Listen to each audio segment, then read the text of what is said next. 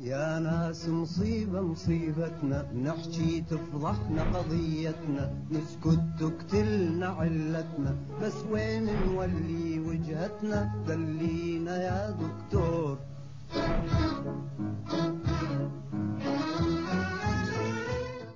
مرحبا مشاهدي برنامج قبل وهسه. عنوان حلقتنا اليوم عن السياحة. نريد نعرف السياحة شلون كانت قبل وشلون هي هسه وشنو الأسباب. فحتى نعرف عن السياحة قبل خلونا نتصل بجدو كوزي ونسمع منه.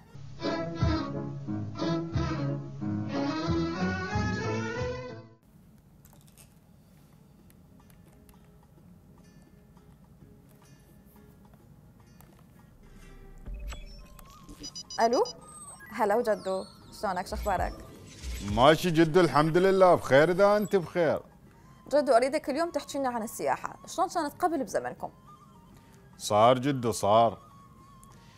السياحة بالعراق يا بنيتي متنوعة من ناحية الثقافة والطبيعة والتاريخ من غير المناطق العمرانية.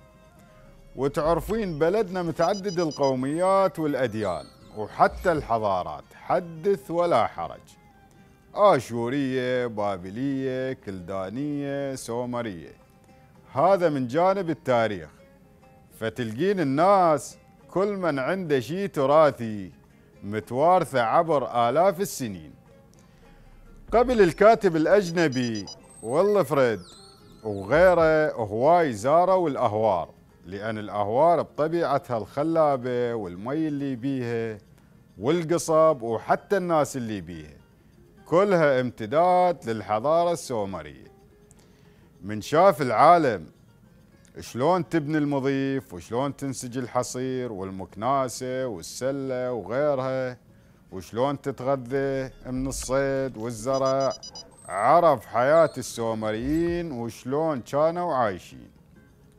وطبعا التقى بشيوخ العشائر هناك من السادة والعوام وحتى السيد صروت كان صديقه ويجول بيه بالهور هذا الكاتب ألف كتاب عنوانه العودة إلى الأهوار ربط به الماضي والحاضر.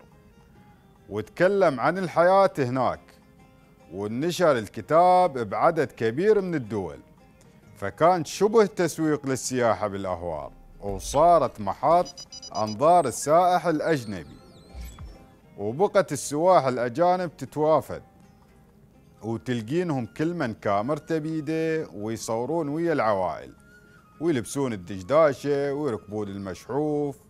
وهيك الأهوار أخذت صدى واسع عند السواح. وطبعا بنت الحداثة كانت بشارع الرشيد وأسواقها. يجي السائح هناك ياكل ويشرب ويشتري ملابس. فتلقيهم كلهم بشارع الرشيد وهم يعتبر فتشي تراثي حديث. وعندنا هواي مواقع أثرية. تزورها السواح مثل قلعة أربيل والحضر وبوابة آشور وملوية سامراء وآثار بابل وبكل محافظة عندنا معلم وقلعة. أذكر كنا نروح لها سفرات مدرسية ومدرس التاريخ كان يشرح لنا عنها. ونلقى العوائل والسواح والمعلم يعجب الزوار والأجواء الطيبة والطبيعة السحرية بالشمال خصوصا بالربيع. والحكي هواي بنيتي وتخون الذاكرة. تمام جدو أنا أشكرك خذ راحتك تعبناك ويانا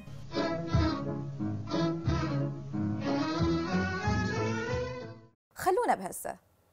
الهور نشف وجزء كبير من سكانه هاجر للمدينة بسبب الجفاف اللي صار.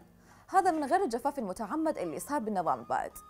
آثار بابل بعد 2003 صارت قاعدة للأمريكان يعني العراق كله ما كفاهم استوطنوا بالآثار وأنت تخيل شنو ممكن يصير بمكان يستوطن بيه جيش.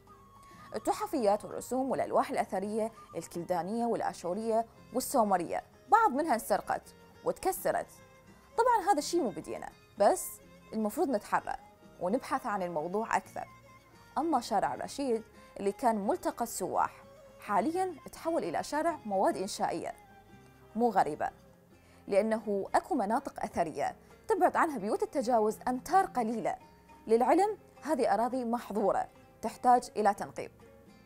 وأحب أضيف أنه أكو معالم شامخة مثل مدينة الحضر وبوابة آشور وعشتار والزقورة وقلعة تهوك. تضيع معالمها ونقوشها بسبب المناخ. من أمطار وتصحر وتقلبات مناخية فقدت هواية من طابعها الأثري. وأكو معالم تدخل وتطلع منها بدون ما أحد يسألك وين رايح يعني باستطاعة أي مخرب إنه يحبث بها. هسه ما عندنا سياحة ثقافية ولا حتى معرفية. سياحتنا هسه عبارة عن مصايف وفقط فصل الصيف. أما روادة فمحليين والسفرات المدرسية وحتى الجامعية صارت أغلبيتها للمصايف ومدينة الألعاب. والمعلم السياحي لما تفوت له ما تلقى شخص يعرفك بتاريخ هذا المعلم. للعلم أكو سواح من خارج العراق بس نقدر نقارن اهتمام مصر بسواحها مثل اهتمام العراق بسواحهم؟ أكيد لا. زين شنو المطلوب لجذب السواح للبلد؟ اني أقول لك. أحتاج طرق معبدة تنقلنا لمكان المعلم. أحتاج إلى فنادق وأماكن استراحة حتى السائح يقدر يستقر بالمكان ويصير قريب منه. أغلب المحافظات اللي تحتوي على مناطق أثرية ما بها فنادق بالمستوى المطلوب أو حتى ما بها أصلا. أحتاج إلى أفراد مختصين داخل المعلم حتى ينورون السواح ويزودوهم بالمعرفة التاريخية عن هذه الآثار. نحتاج نثقف جيلنا الحالي وأجيالنا القادمة. بحضاراتنا وتاريخها أكثر من الأجنبي. يعني لازم نفعل السفرات المعرفية والثقافية. ويا ريت يا ريت إنه يكون التسويق للآثار والمعالم التاريخية بقدر التسويق لمدائن الألعاب والمصايف. لا بس إنه أروح مصيف أو مدينة ألعاب، بس من ضمن المنهاج أزور كذا معلم مثل ما تشتغل مصر وباقي الدول وتروج على مواقع التواصل الاجتماعي لآثارها وطبيعتها والخدمات اللي تقدمها للسائح، إحنا هم نسوي هذا الشيء حتى اللي ما يعرف يعرف. إحنا بحاجة إلى تنقيب وبحث ليش متوقفين أو خجولين بالعمل؟ لازم نشكل لجان ويستمر البحث. العراق يحتوي مو بس على معالم، يحتوي على مدن أثرية غطتها الأسربة. إحنا تحتنا كنوز من التراث القديم، بل مدن مدفونة. اللي أخاف من عنده بالمستقبل أنه تتحول هذه المدن إلى أراضي زراعية أو سكنية وتنتهي القصة. إحنا إذا ما نقدر نبحث وننقب وندرس ونضيف ونطور هذا الجانب من السياحة خلينا نضي لشركات استثمارية مختصة. بس تحت إشرافنا مصر بدايتها سوت هذا الشيء. وهسه روحوا شوفوا مصر عايشين على السياحة والفن. ما أعرف إحنا شنو اللي ننتظره. يكفي اللي عبث ب 11 يكفي أحداث ما بعد 2003 والسنوات اللي قبلها من النظام البائد. لازم نحدد مسار ونمشي عليه لأنه إحنا تميزنا بهذه المعالم. إحنا اللي علمنا العالم الرسم والكتابة وشرعنا القانون وكتبنا حتى عن النجوم والكواكب. بعض الدول المجاورة تستجدي أنه يكون عندها معلم من هذه المعالم. للأسف إحنا عندنا كل هذا بس ما عندنا طريقة حتى نحافظ عليه. باختصار إحنا محتاجين اهتمام وتسويق متطور. إلى اللقاء في حلقة جديدة من برنامج قبل وهسه وموضوع جديد. في أمان الله. دكتور توكل بالله وش فينا من هالعلة يزين ظل بهالحال دبر بصورة حال.